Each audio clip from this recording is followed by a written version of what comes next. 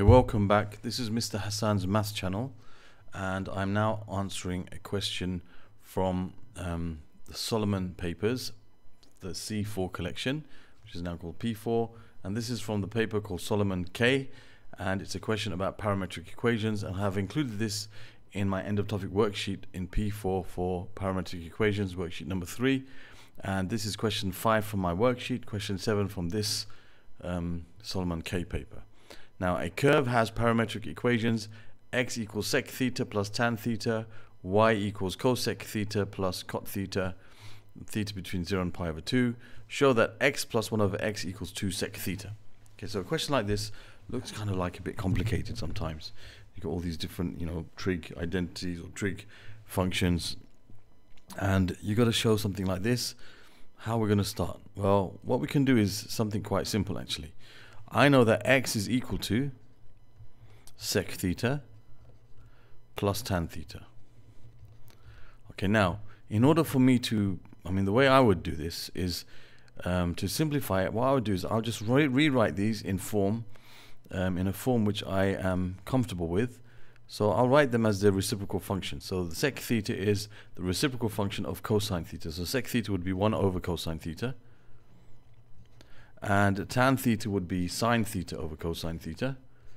Okay, tan theta is like sine theta over cosine theta. That's one of the identities that we know. So I'm, I'm going to write things in terms of sine and cosine theta, and then that might help me. So this is going to become x equals, you have the same common denominator, so that's 1 plus sine theta over the same denominator cosine theta.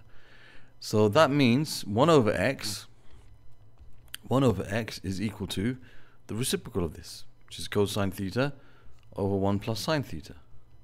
So now we're saying show that x plus 1 over x equals 2 sec theta. So if I add these two expressions together, I'll say x plus 1 over x is going to be 1 plus sine theta over cosine theta plus cosine theta over 1 plus sine theta. Now, that's, you know, x plus is reciprocal. This is what we've show, shown x is equal to this, and this is reciprocal. So let me now uh, add these two fractions together.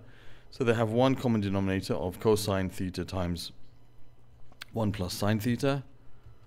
And you're going to have to multiply these two together. Have to multiply, but basically I have to multiply bo both top and bottom of this fraction by 1 plus sine theta. Why did I put sine 2 theta there? Sine theta. Okay, uh, I'm going to multiply these together, so I have 1 plus sine theta times 1 plus sine theta, which is 1 plus sine theta squared. And then I've got also uh, plus cosine squared theta, cosine theta times cosine theta.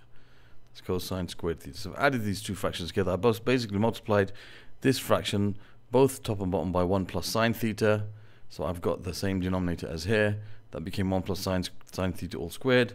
And I multiplied both top and bottom of this by cosine theta. So this becomes 1 plus sine theta times cosine theta. And that becomes cosine squared theta. Then I wrote it as one fraction basically. Now what I'm going to do is I'm going to expand this bracket. That's going to give me 1 plus 2 sine theta plus sine squared theta plus and I've got cosine squared theta on the end there all over cosine theta times 1 plus sine theta. So I'm, I'm doing this blindly right now. I don't really know what's going to happen, but I can see something's going to happen because I know that sine squared theta plus cosine squared theta equals 1. So this is going to be 1 plus 2 sine theta plus another 1 over cosine theta 1 plus sine theta. So we're kind of getting somewhere this is now going to equal 2 plus 2 plus 2 sine theta over cosine theta times 1 plus sine theta. Now I can see what's happening here. This 2 is common here, so you have 2 times 1 plus sine theta over cosine theta times 1 plus sine theta, and we can see here that's a common factor. So we've got 2 over cosine theta and we have to show that this becomes 2 sec theta and 1 over cosine theta is sec theta so this is like 2 times, you know, 1 over cosine theta, which is 2 sec theta. So we've got there finally. So, you know, we just basically, we expressed x and 1 over x in terms of sine and cosine theta and just added x to 1 over x and then simplified that and we got what we had to get. Okay, so there's the answer to part A. For part B, it says given that y plus 1 over y equals 2 sec 2 cosec theta, find a Cartesian equation for the curve. A Cartesian equation is when you got y as a function of x. So they want to get rid of or eliminate the um, theta from our equation. Okay, they want to eliminate the theta from the, the equation and they want to have one equation, just y in terms of x. So what I'm going to do here is I'm going to say, okay, I know that 2 cosec theta is equal to y plus 1 over y. Okay, just move this out though. I've just I just brought these things down so I got some information from about from what we needed from before. And I can also say that 2 sec theta equals x plus 1 over x. Okay, so I'm going to express everything in terms of cosec theta and sec theta first. I'm going to make that the subject. But before that, before I do that, I'm going to make this into one fraction because I think that will just make my uh, manipulation much easier later on. So I'm going to make this into one fraction. So I have to multiply both top and bottom by y. And here this will stay as it is. So you're going to end up with y squared plus 1 over y. Okay. And for this I'll have sec theta. Same, same reason this will be over x. That'll be x squared plus 1. Uh, 2 sec theta, sorry. So now what I'm going to do is I'm going to uh, make cosec theta the subject. So co cosec theta is going to be y squared plus 1 over 2y. And here sec theta is going to be x squared plus 1 over 2x. Now, again, I'm, I'm, going to now write this in terms of what I'm comfortable with. Cosec theta is a reciprocal of sine theta. So this is like sine theta equals. So I've wrote this as a reciprocal. This has to also be written as its reciprocal. So sine theta is 2y over y squared plus 1. So if cosec theta is y squared plus 1 over 2y, sine theta must be its reciprocal. Same here, I can write this in terms of its reciprocal function, which is cosine theta, and that's 2x over x squared plus 1. Now, how do I link these two together? Well, I can link them together with the identity sine squared theta plus cosine squared theta equals 1. It's one of our famous identities that we know. So if sine squared theta plus cosine squared theta equals 1. I can square this. I can replace the sine theta with 2y over y plus 1, y squared plus 1. So I have 2y over y squared plus 1 all squared plus 2x over x squared plus 1 all squared equals 1. So I've basically now eliminated the theta. This is a Cartesian equation, okay, which has just x and y in it and no theta and I've done I've, I've completed my objective now what I can do is simplify a little bit right this says 4 y squared over y squared plus 1 squared plus 4x squared over x squared plus 1 squared equals 1 and there we have our Cartesian equation for this function for this for this not function for this uh, curve okay so we have the Cartesian equation for this curve Right, so there we have the um, answer to this question number 7b. Okay, so it's a bit of uh, you know thinking involved, but anytime you have a, a question which involves trigonometry and making or trig, trig identities and making the Cartesian equation, always try to think in terms of the identities that you know. So I thought that I could make this in terms of sine theta, I can make this in terms of cosine theta, then I can connect them together with the identity sine squared theta plus cosine squared theta equals 1. Okay, so there's the answer to part B. Now for part C. Now for part C, it says show that dx d theta equals a half x squared plus 1. So what I've done is I've gathered together what I need from the earlier part of the question, what things I might need. I've got x equals sec theta plus tan theta. I've got x plus 1 over x equals 2 sec theta, and we actually um, even simplified that further, and I'll do that again. And also, I've taken from the from the um, formula book the differentiation of the trig functions which they give us in the formula book so that we have that at hand. So we got to find dx d theta. So I've got to take x equals sec theta plus tan theta. I'll just put it there. And I have to find dx d theta. So I have to differentiate this with respect to theta. Now the differential of sec theta is sec theta tan theta. Okay, that's one of the results that we know. The differential of sec theta is sec theta tan theta. Sec of an angle, differentiate, gives you sec of the same angle times tan of that same angle. And then tan theta, the differential of tan theta is sec squared theta. As you can see here, the differential of tan kx is k times sec squared kx. So the differential of tan theta will give you sec squared theta. All right, now um, I've got to show that this becomes this expression here. What I'm going to do is I'm going to take out the common factor of sec theta and I'll be left with tan theta plus sec theta. Now I know that this part of it is x because I know x equals sec theta tan theta. And sec theta, because I have this, okay, I can, in fact, let me just move it down here. Okay, I have this here, so I can use this to try to um, write sec theta in terms of x. Now we already worked out that we, we combined this as one fraction. You got x squared plus 1 and it was divided by 2. That's sec theta. So I can replace the sec theta by x squared plus 1 over 2x. I can replace this tan theta plus sec theta with x. Okay, so I have dx d theta is equal to this. The x cancels with the x, and I'm left with x squared plus 1 divided by 2, which is exactly the same as this. This is like saying a half times x squared plus 1.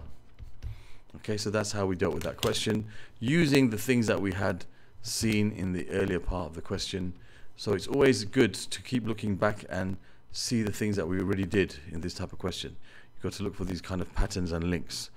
Okay, so there is part C done, and now part D says find an expression for dy dx in terms of x and y. Now dy dx, when we're finding dy dx in terms of um, parametric equations, then what we what what we should do is we should um, use the chain rule. So you're going to have dy d theta times d theta dx. Okay. Now we already know what d theta dx is. Well, we know what dx d theta is. Okay, so dx d theta is basically x squared plus 1 over 2. Just write it in that form. That means d theta dx, which I need, is going to be 2 over x squared plus 1. So now what I need to find is dy d theta. So I've got to find dy d theta. Okay, now I know y equals cosec theta plus cot theta. So let me look at my, again, my differentiation. I've got cosec theta. If I differentiate cosec theta, I get minus cosec theta times cot theta. And if I differentiate cot theta, I get minus I have plus, I've got minus cosec squared theta, minus cosec squared theta. Okay, so that will just give you a minus there, so I can just forget the bracket there, just put, I'll just put it straight away as minus cosec squared theta. Minus cosec squared theta. Now I can do the same thing as I did above. I can take out the common factor. So I'll, let me take out minus cosec theta and I'm left with cot theta plus cosec theta. So again, cot theta plus cosec, cot theta plus cosec theta is y, so this part is y. And I can use this to express cosec theta in terms of y. And remember this is going to be y squared plus 1 over y over 2y equals cosec theta. So I can replace the minus cosec theta with minus y squared plus 1 over 2y. So I'll have minus y squared plus 1 over 2y times y. That's dy d theta. So that, that they will cancel here and I'll be left with minus a half times y squared plus 1. Okay, so now this is the same as saying minus y squared plus 1 over 2. So now we got to find um, dy dx. So I've got to multiply this by that. I've got to multiply these two together. Okay, do I have space here? Yes, I do. So I'm going to take this. Okay, that's the theta the x, and that's, I'll just write over here, we got dy d, dy d theta is equal to minus, let me just write this a bit better, that's not quite right there, the minus should be outside the whole fr fraction. I could write this as y squared plus 1 over minus 2 just to make it clear. So I'll write it like that just to make it clear. So this is y squared plus 1 over minus 2. That's a bit clearer. Now I can say that as we said dy dx is going to be dy d theta times dx d theta dx. So I've got dy d theta is y squared plus 1 over minus 2 times d theta dx is 2 over x squared plus 1 so they cancel out leaving you with minus y squared plus 1 over x squared plus 1 the minus front of the whole fraction. And that is your expression for dy dx dy dx is equal to minus y squared plus 1 over x squared plus 1 and that's how we had to express it in terms of x and y. Okay so there's the answer to part D and the final part of the question. Um, that's a bit of a kind of a complex one I guess. So this is um, from the Solomon K paper. Other questions from the Solomon K paper um, from P4 you can find in this playlist hopefully over here as I as I answer them. Other questions about parametric equations you'll find in this playlist parametric equations from P4 um, you can subscribe to the channel from clicking this link. And on the top right here you'll have a card which links you to another paper for P4 um, you know um, past paper. Thank you for watching. Um, I hope that was clear. And I will see you soon inshallah